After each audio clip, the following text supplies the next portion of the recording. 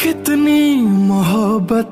है मेरे दिल में, कैसे दिखाऊँ से कैसे दिखाऊँ से दीवानगी ने पागल किया है,